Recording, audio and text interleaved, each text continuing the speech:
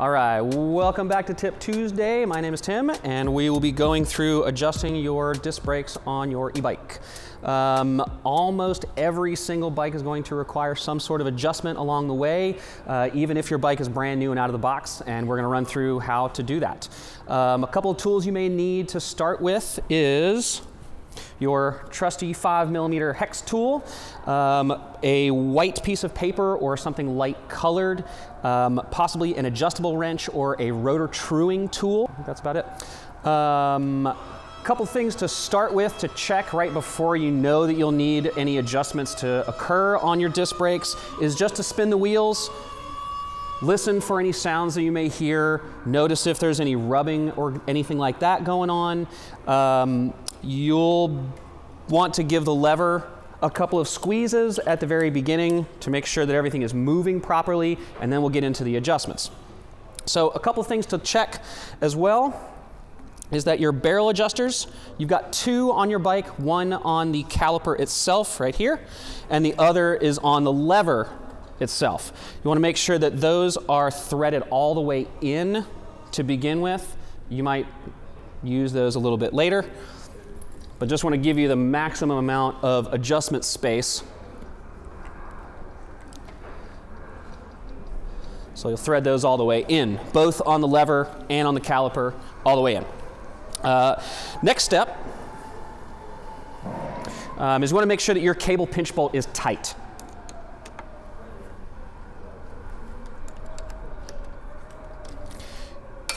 Good to go ahead and have it loose to begin with so that the cable can float freely through there. Pull that tight. The important thing to remember at this point is not to preload that swing arm for the caliper.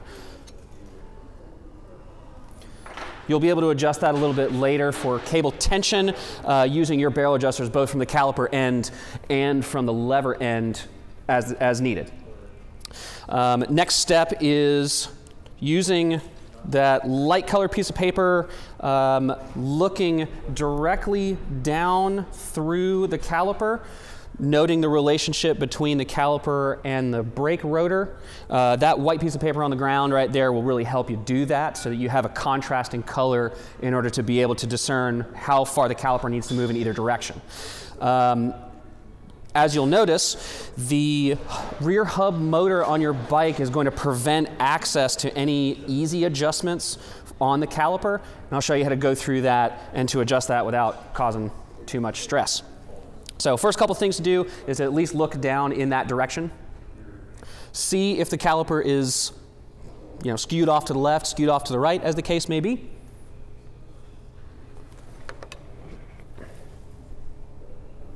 Which in this particular case, there's a very large gap on both sides, which is not the worst thing in the world.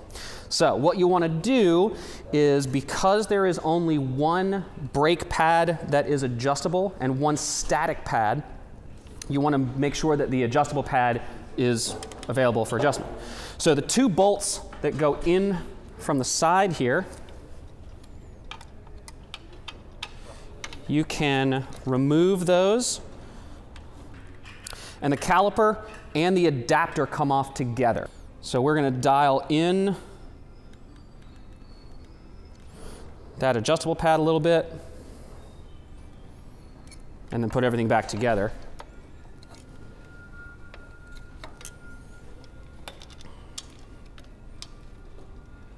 Throughout this process, it is really important uh, to make sure that you're not touching the brake rotor itself, especially with your fingers. Not that everybody is really that dirty, but everybody has oils on their fingers that can transfer to the rotor. If it transfers to the rotor, it'll likely transfer to the pads, and you can contaminate the system like that.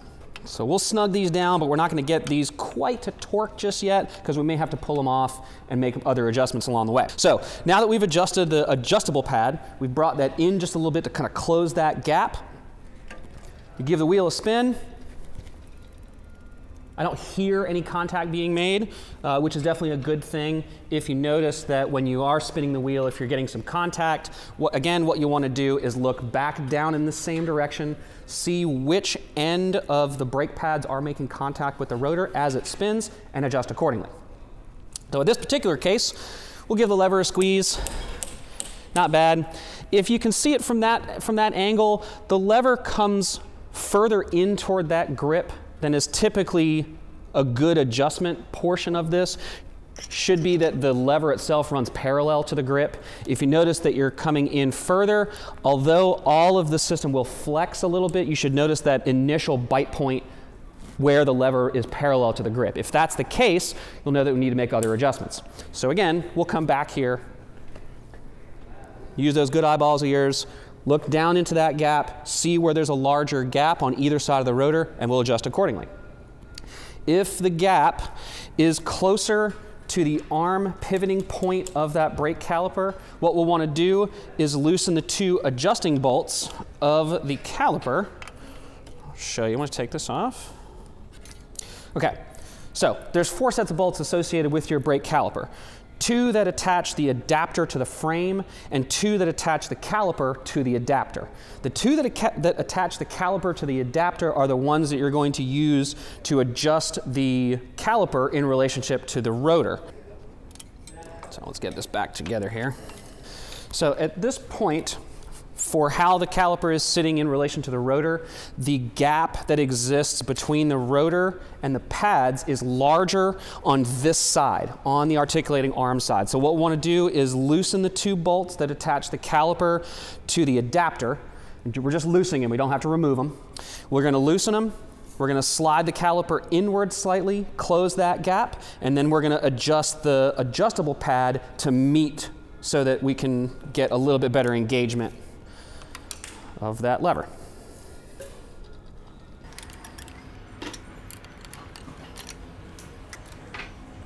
So now we've slid the caliper inward slightly or inboard slightly. Give the wheel a quick spin, knowing that the knowing that there's not any contact being made. Again, since we're going to have to adjust the adjustable pad, pull the adapter mounting bolts back off, remove this. We'll dial this in, eh, I'd say another maybe half turn. let's see how we did. So with your fixing bolts snugged, notice that sound means that we adjusted that static, we adjusted the adjustable pad too far in. Just to make sure that everything is seated correctly, you want to give that lever a couple of squeezes. Test again. Still making some contact, no big deal. Let's back that, let's back that pad out just a little bit. So we're gonna unscrew that about a quarter turn.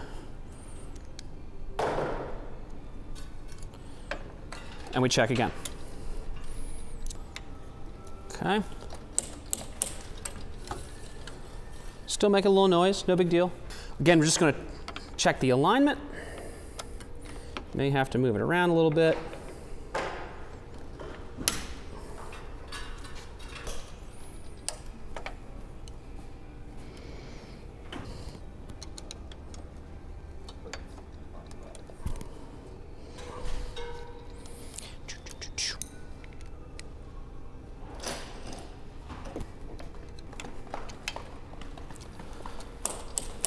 Okay, now we got everything centered back up. Give the wheel a spin, no contact being made, great. Um, I would like to take this opportunity to highlight how difficult this can be. Um, if it's not something that you're comfortable with doing, have no fear. Uh, we as, our, as the GEN3 support team are here to help. Um, we can talk you through this kind of stuff. We can recommend taking it to a local bike shop. We can recommend um, having Velotooler or Velofix come to you to do this. Uh, this is definitely not something that we have any expectations that you're going to be a master at immediately.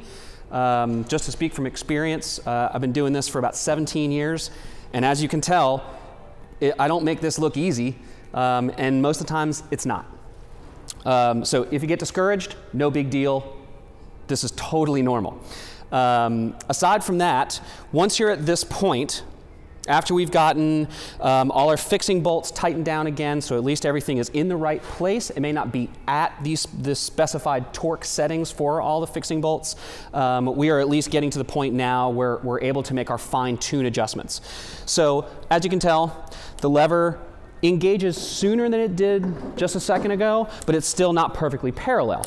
But at least we're at the point now where the wheel can spin without any extra contact being made. So from here is where we're going to employ the usage of your barrel adjusters in order to get that fine-tuned brake feel. So you can spin the wheel, unscrew those barrel adjusters, and you can watch that articulating arm move closer and closer to the body of that caliper. And every time you turn that barrel adjuster, you notice that the lever starts to engage sooner each time.